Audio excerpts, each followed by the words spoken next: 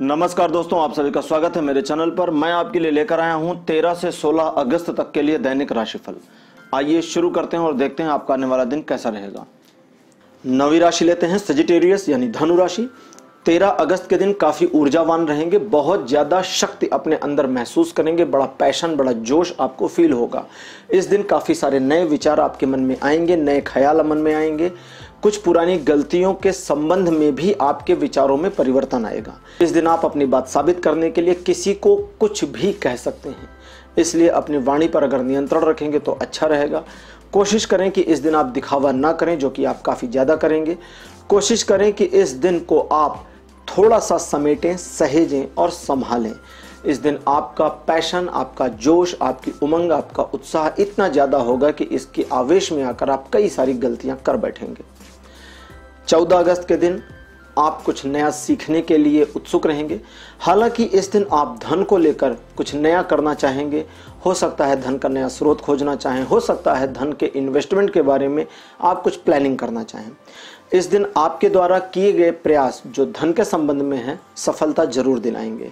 लेकिन इस बात का ध्यान रखें कि दूसरों के बहकावे में आप ना आने पावें। अगर कोई व्यक्ति आपको कुछ बताता है, किसी मामले पर इन्फ्लुएंस करता है तो विवेक से काम लें उस व्यक्ति की बातों में ना आ जाएँ।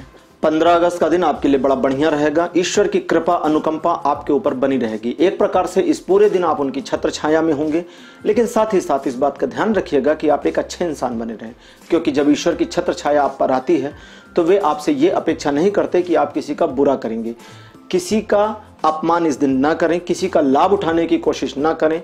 इस बात का प्रयास भी ना करें कि आप अपने फ़ायदे के लिए किसी को यूज़ करेंगे। जितना ज़्यादा आपका व्यवहार पॉजिटिव रहेगा, उतना ही आपके लिए फ़ायदेमंद रहेगा। इस दिन प्रेम संबंध और वैवाहिक जीवन के लिए बड़ा ही बढ़िया दिन रहेगा। फिर से, प्रेम संबंधों और वैवाहिक जीवन के लिए 15 अगस्त का दिन बड़ा ही उत्तम रहेगा। 16 अगस्त के दिन आप ईश्वर से थोड़ा नाराज़ रहेंगे। हो सकता है आपको ऐसा लगे कि जीवन में अभी तक आपने जो कुछ भी हासिल किया है, वो अपने दम पे किया है। इसमें ईश्वर का ना सहयोग है, ना कोई हाथ है, ना उनकी प्रेरणा है। लेकिन आपका सोचना गलत है। सब कुछ ईश्वर की प्रेरणा से होता है और आज भी ईश्वर आपको कुछ रास्ते दिखाना चाहते हैं, कुछ हिंट देना चाहते हैं। लेकिन अगर आप अपने आप को उनकी ओर से पीठ किए बैठे रहेंगे तो आप उनके हिंट्स को कैसे ले पाएँगे? इसलिए उनसे नाराज़गी मत दिखाएँ। ईश्वर जो हिंट्स देते हैं, उस हिंट्स को आप स्वीकार करें, एक्सेप्ट करें और उनको यूज़ में लाने का प्रयास करें। कोशिश करें कि इस दिन आपका जो व्यवहार है या आपका जो मूड है ये मूड दूसरे लोगों को कम से कम पता चले।